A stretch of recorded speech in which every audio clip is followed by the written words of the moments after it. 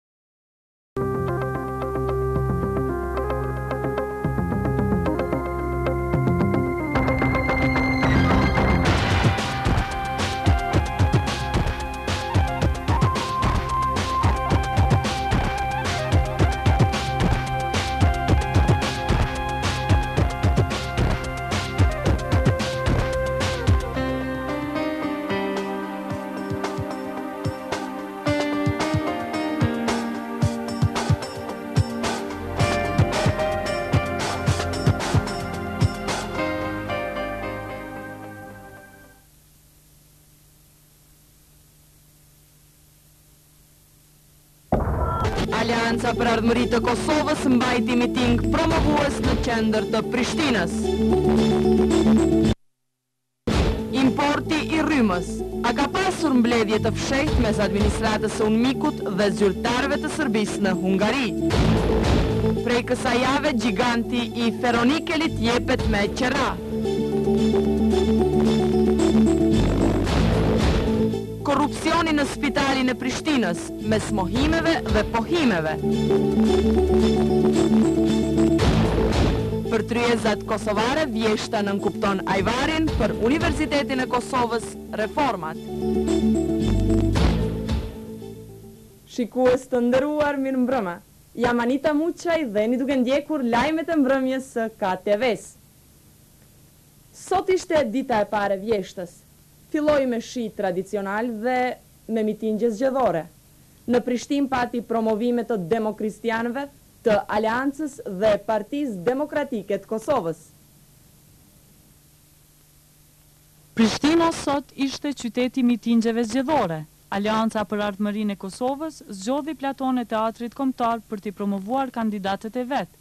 Tubimi u mbajt në atmosferë festive, morën pjesë qindra qytetarë dhe ra shi, i cili mbase shkurtoi edhe kohëzgjatjen e tubimit.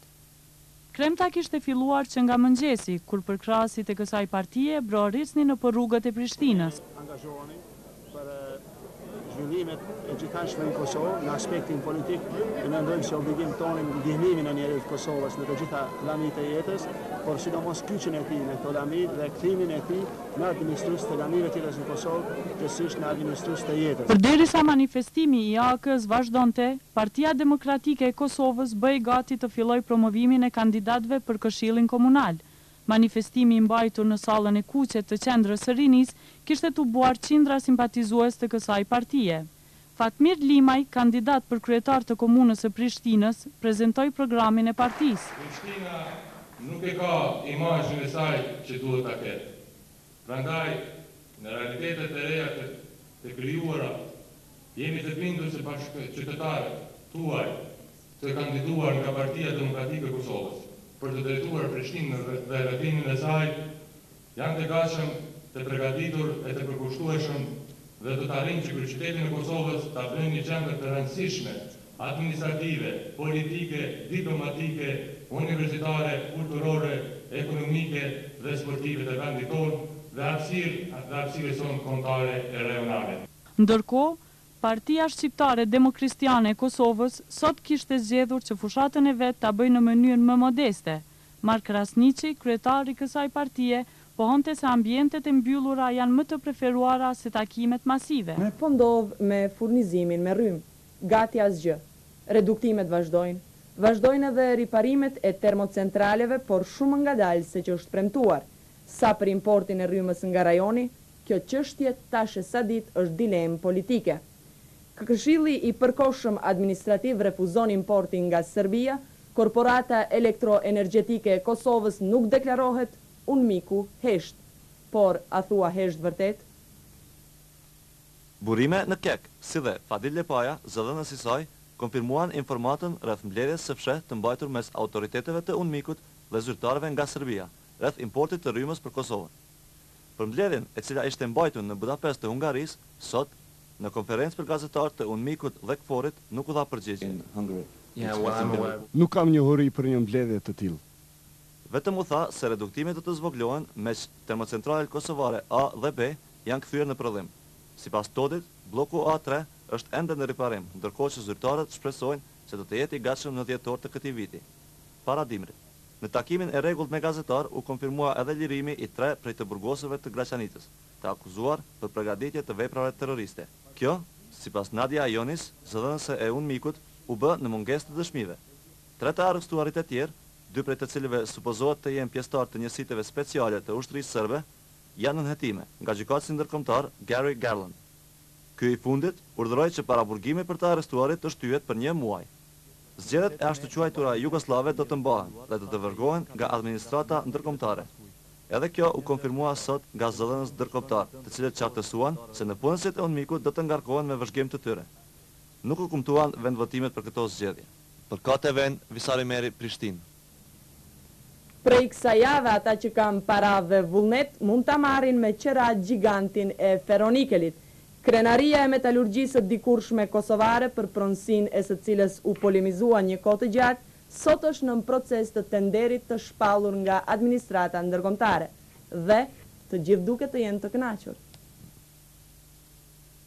Shtylla e katërt e UNMIK-ut për Rindërtim dhe Zhvillim Ekonomik shpalli tenderin ndërkombëtar për koncesion afatgjatë për kompleksin e Ferronikelit. Administrata ndërkombëtare kërkon të identifikojë investuesin e përshtatshëm i cili do të merr përsipër administrimin, rindërtimin dhe zhvillimin e kompleksit. Pothuaj të gjitha komplekset industriale në Kosovë, të cilat janë pronë shoqërore, janë jashtë procesit të prodhimit. Kompleksi industrial i Ferronikelit ka një rëndësi të madhe, thashë edhe ma parë, se në gjirin e saj përfshin dikun rreth dy mijë punëtorë, do të thotë dy mijë familje sigurojnë bukën nga ky objekt. Me dhënien me qira të këtij kompleksi industrial, punëtorët e saj shpresojnë marrëdhënie pune dhe krijimin e të ardhurave, por gjithashtu do të ndikojë në rivitalizimin e ekonomisë së Kosovës. A është ky fillimi i procesit të rimëkëmbjes së shumë ndërmarrjeve të Kosovës të cilat ende nuk po funksionojnë? Për KTV-në, Arjanit Blakaj, Feronikël, Drenas. Një bashkëdrejtues departamenti akuzon nëpunësit e sektorit që udhëheq për korrupsion. Këta të dytit mohojnë akuzën por se ankohen për të ardhura tepër të vogla personale. A ka vërtet korrupsion në spitalin e Prishtinës? Problemeve të shumta të sektorit të shëndetësisë kosovare iu shtua edhe një, korrupsioni. Pleurat Sejdiu, Bashkëdrejtues i Departmentit të Shëndetësisë pohon se kjo dukuri është përditshmëri e shëndetësisë në Kosovë. Kjo është e ditur jo vetëm për spitalin e Prishtinës, por në përgjithësi në sistemin shëndetësor dhe gjithnjë kam folur për korrupsion në sistemin shëndetësor, do të thotë marrja e mitos nga pacientët. Sejdiu shton se ka pasur raste kur mjeku ka kërkuar një mijë e dyqind marka nga pacienti për t'iu nënshtruar operacionit, pa pritur radhën e paraqitjes në spital. A ka korrupsion në spitalin e Prishtinës?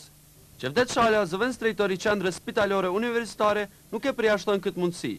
Porse e gjithë kjo, sipas tij, në mungesë të fakteve përfundon vetëm me thashethëme.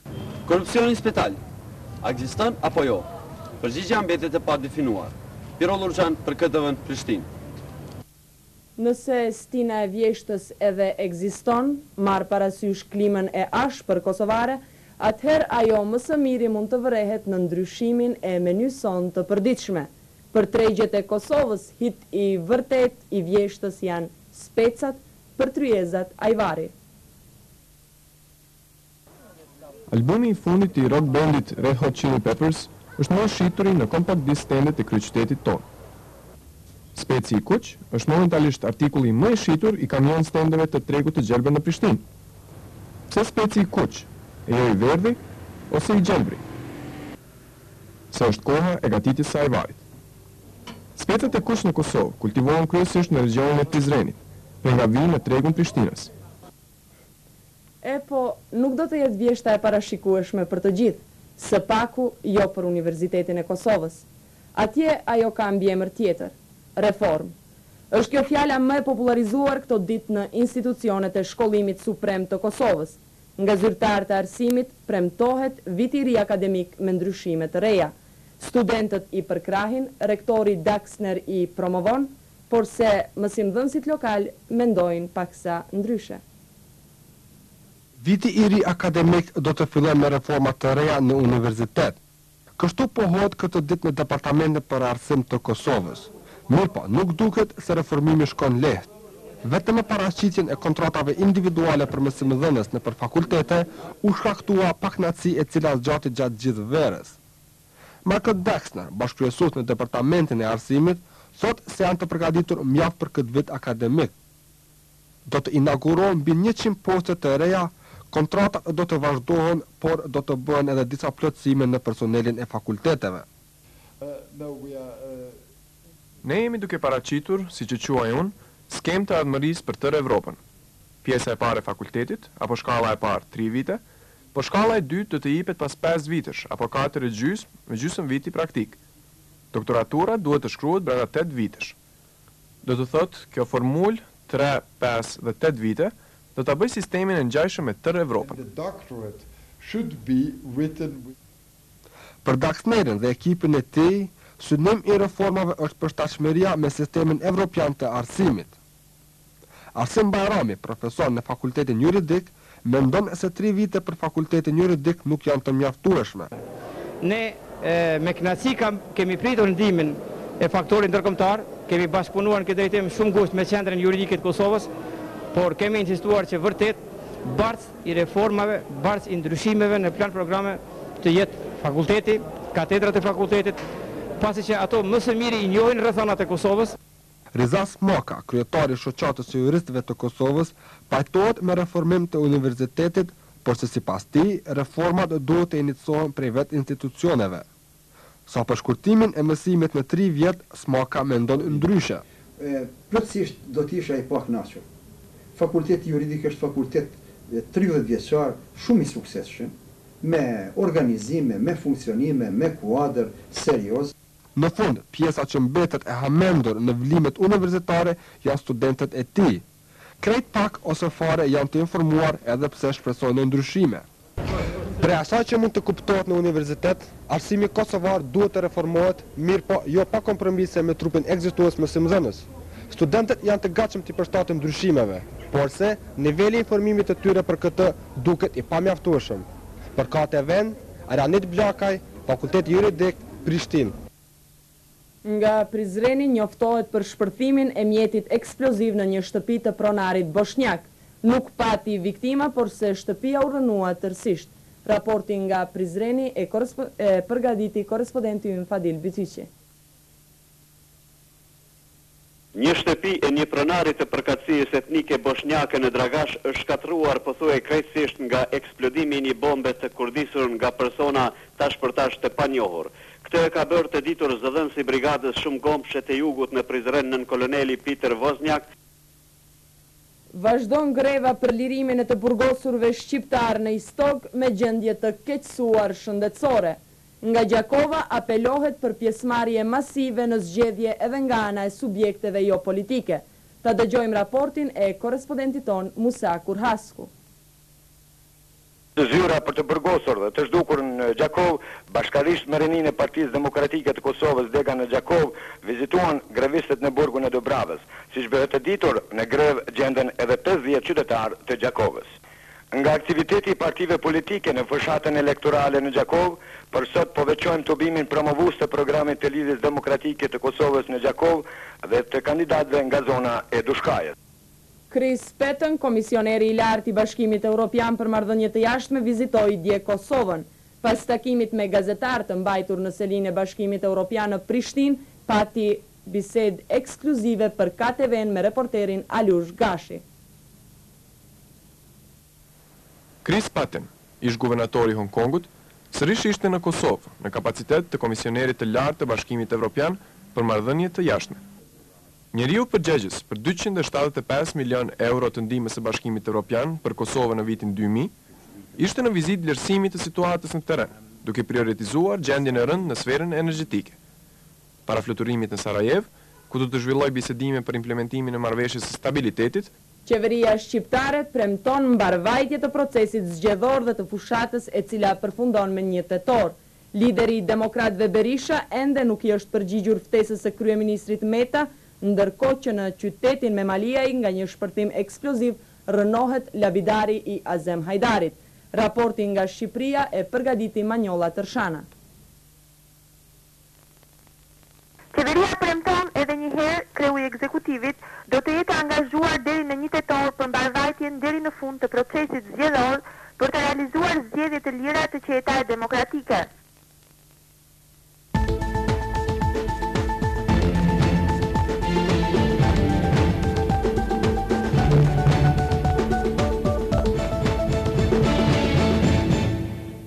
Heshtja zgjedhore tashmë ka filluar në Serbi ndërkohë që në Mal të Zi është shënuar incidenti i vrasjes së një polici qeveritar nga ana e ushtarëve serbë.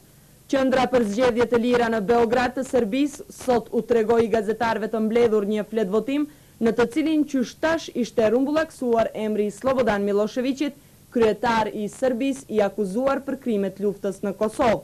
Prej zgjedhjeve serbe kanë mbetur edhe dy ditë, ndërkohë që opozita politike druan nga represaliet në vend.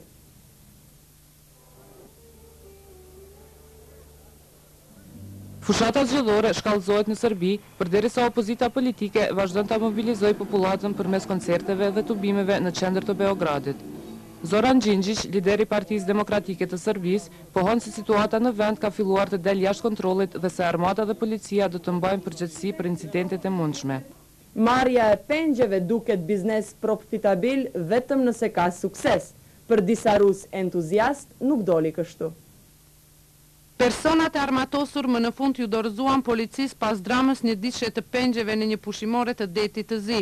Një zyrtar i sigurimit pohoi se kindapuesit së bashku me të kindapurit kishin dalur nga një hotel i vogël ku ishin mbajtur rreth orës njëmbëdhjetë.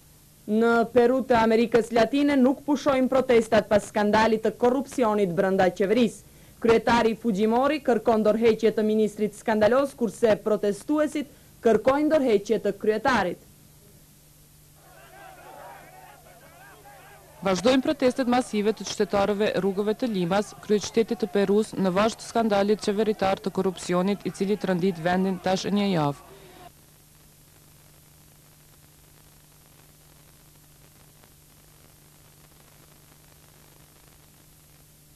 Reprezentacioni i peshëngritësve të Bullgarisë përjashtohet nga Lojërat Olimpike. Nesër dhe pasnesër zhvillohen ndeshjet e javës së gjashtë të Kampionatit të Kosovës në futboll. Njeriu më i shpejti në botë është nisur për medaljen e artë në Sidney dhe le të kujdesen të gjithë kush del përpara.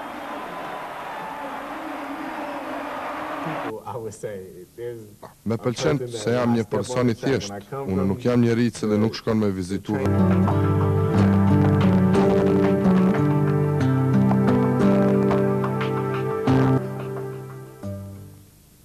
Shikues të nderuar, ishin të gjitha këto materialet e përgatitura të edicionit të parë të lajmeve të mbrëmjes së KTV-së. Ju kërkojmë falje për çdo gabim që është bërë dhe natën e mirë.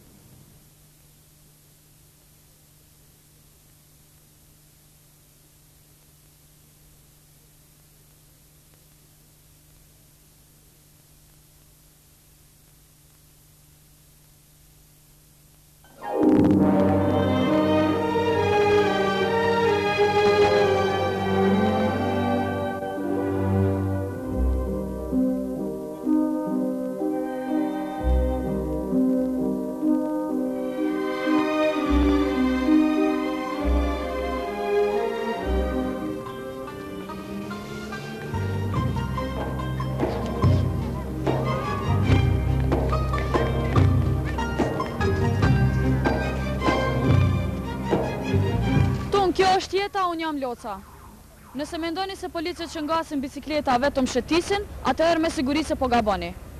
E për këtë ne ju vërtetojmë të kundërtën. Ata, bile dhe mund t'ju arrestojnë.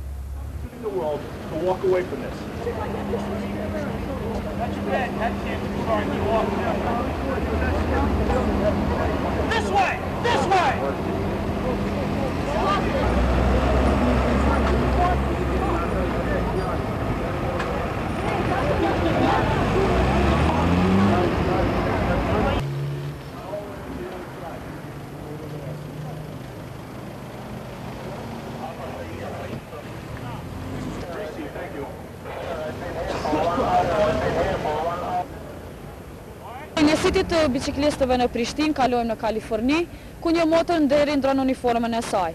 Në çka? A mund ta paramendoni në cilën uniformë? Para njëzet vitesh Haskins ishte motër nderi, ndërsa sot police në qytetin Lake Helen të Floridës me vetëm dy mijë banorë. Nëse mendoni ta vishni uniformën e policit, nuk don të thotë që ta kryeni punën e tij. Ndonjëherë ndodh që ta kryeni punën e gëlqeruesit, e më vonë, ndoshta edhe të piktorit. Bukuria e qytetit është bërë brengë e çdo qytetari kosovar. Çka filloi Zake Prelvukaj me muralin e Dardanisë, tani vazhdohet nga policia.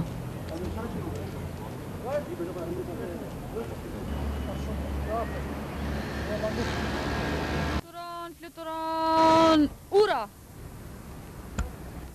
Jo. Ha. Fluturon, fluturon aeroplani.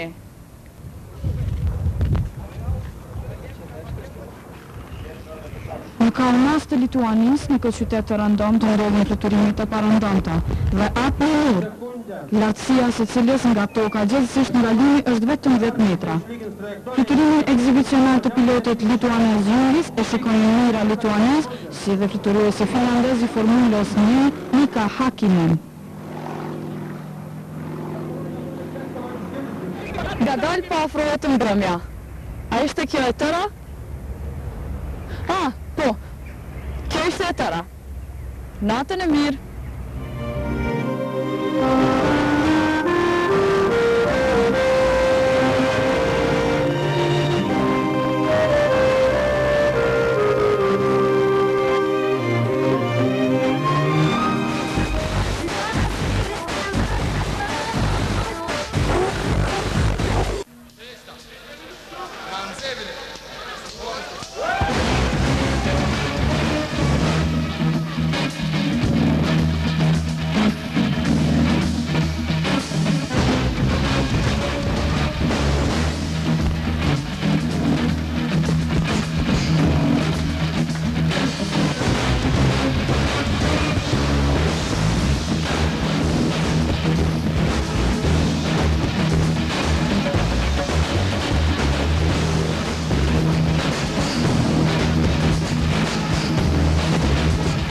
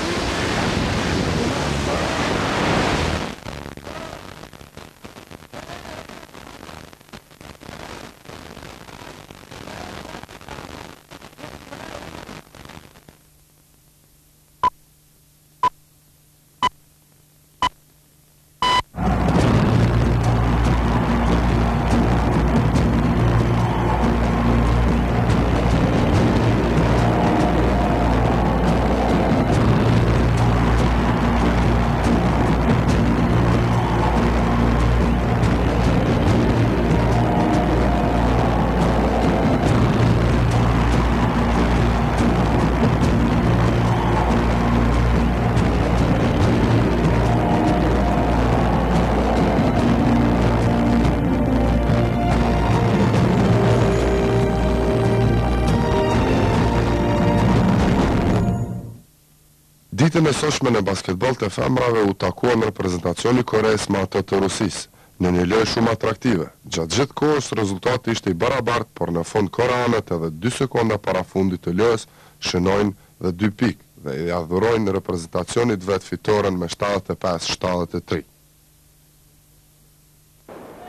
Michael Johnson tregohet se është më shumë se i pregaditur për garë. Johnson shpreson që do t'i fitojë prapë dy medaljet e arta, ato në dyqind dhe në katërqind metra.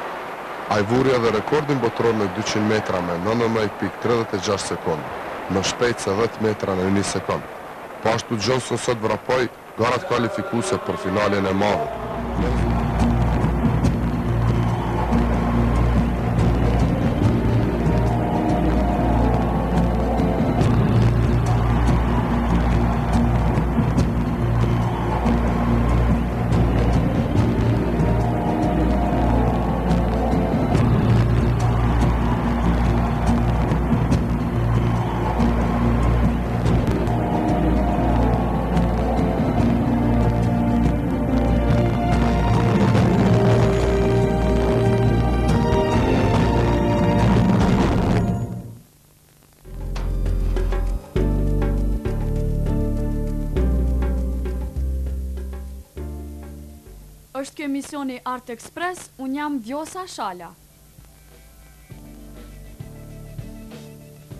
Hit filmi amerikan The Cell pati premierën evropiane në Leicester Square të Londrës.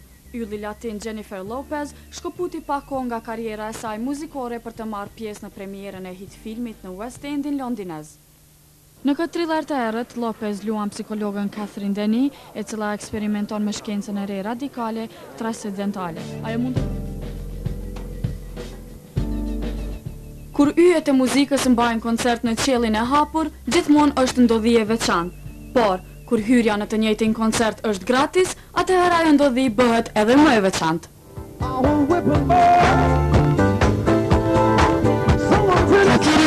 botëror Sting dha një koncert falas për 25.000 adhurues të tij në Central Park të New Yorkut.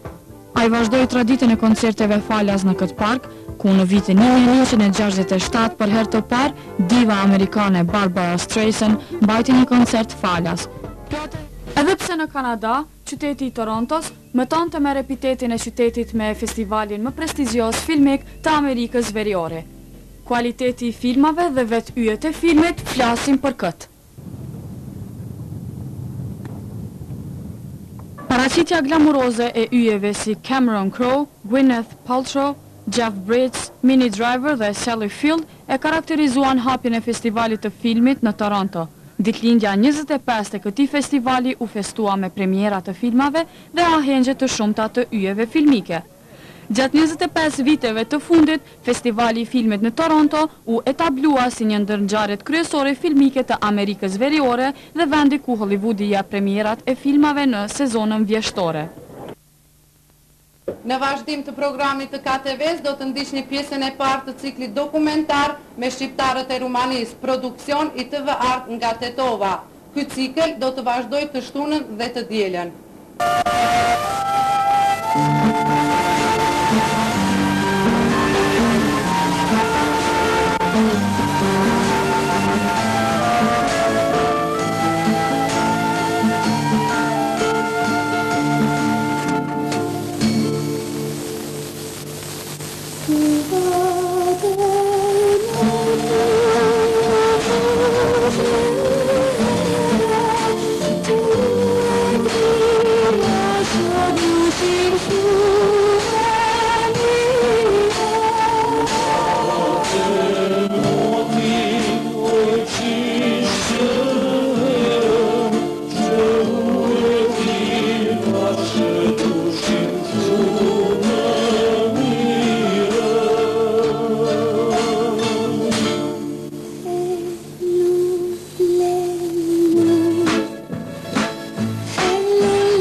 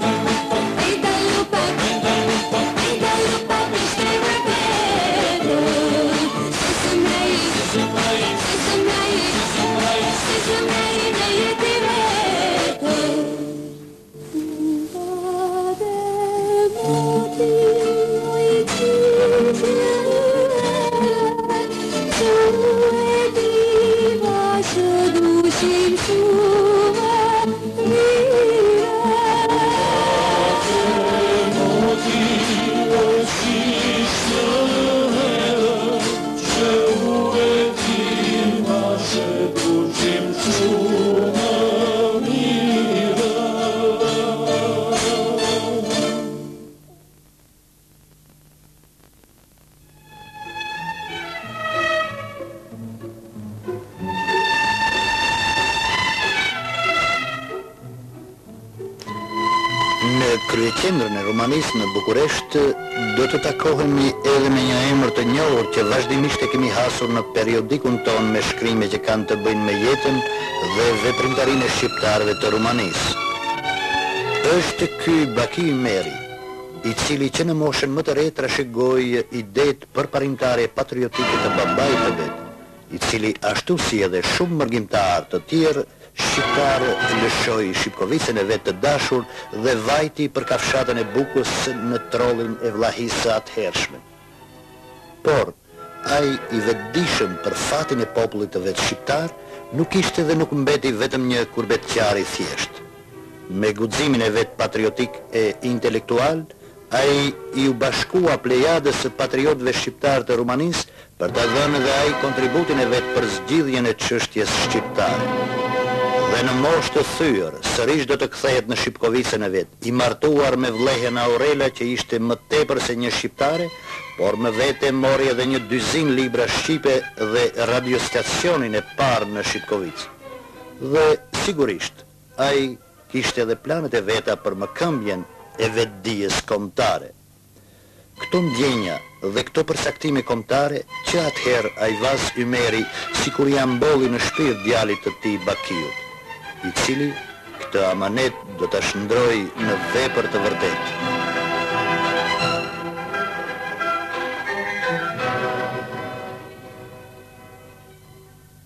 Kjo ide për studimin e diasporës shqiptare të Rumanisë Më lindi qysh në në vitet e rinisë kur hasa në bibliotekën e babait tim një pjesë materialesh shumë të të të mira dhe interesante që ishit që ndërlidheshin me komunitetin shqiptar të këtushëm edhe të cilat materiale babai im bashkë me nënën i kishin sjellur nga Rumania në Shipkovicë të Tetovës në vendlindjen time.